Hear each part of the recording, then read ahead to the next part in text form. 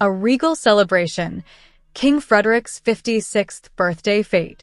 Welcome back, dear viewers, to the world of royal grandeur.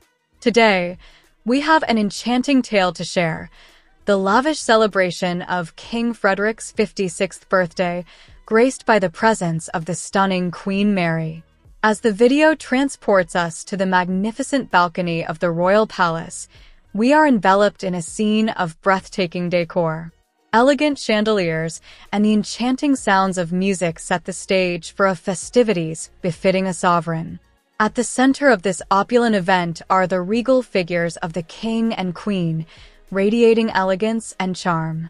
We witness the arrival of distinguished guests, each adorned in their finest attire, as the atmosphere buzzes with excitement and joy. As the sun sets, the balcony is illuminated with dazzling lights, creating a truly magical ambience. The celebration continues with delectable fare, lively music, and a palpable sense of revelry that captivates the senses. The highlight of the evening comes when the king and queen take center stage, sharing a graceful dance, their love for one another evident in every step. This heartwarming moment will surely make your heart flutter with joy.